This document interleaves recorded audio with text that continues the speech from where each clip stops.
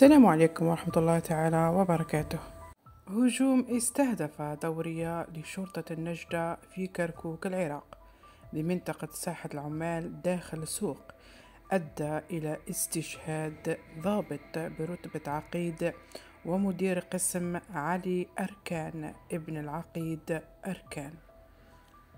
وجرح منتسب آخر.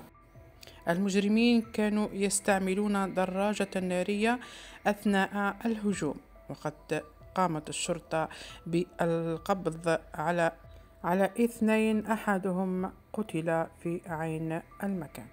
وهذه مراسيم تشييع منتسب شرطة النجدة الذي استشهد أثناء الواجب بهجوم مسلح. نسأل الله له المغفرة والرحمة ويسكنه الله فسيح جناته.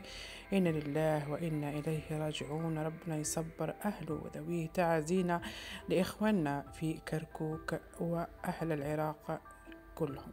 والسلام عليكم ورحمة الله تعالى وبركاته.